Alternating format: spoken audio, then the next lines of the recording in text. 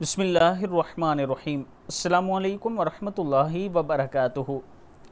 عابد راجہ channel کی طرف سے آج میں اپنے دوستوں کو ایک بہت ہی پیارا عمل بتاؤں گا۔ جن کو بہترین رزق چاہیے، صرف وہ پڑھیں۔ رسول اللہ صلی اللہ علیہ وآلہ وسلم نے فرمایا، حضرت ابو حریرہ رضی اللہ تعالیٰ عنہ فرماتے ہیں کہ آپ صلی اللہ علیہ وآلہ وسلم نے فرمایا، جو شخص صبح میں یہ دعا پڑھ لے تو اس دن بہترین رزق سے نوازا جائے گا اور برائی سے محفوظ رہے گا، اور جو شام کو پڑھ لے تو اس رات بہترین رزق سے نوازا جائے گا اور برائی سے محفوظ رہے گا۔ پڑھنا کیا ہے؟ ما شاء اللہ لا حول ولا قوت الا باللہ اشہد ان اللہ علا کل شیء قدیر صدق اللہ العظیم.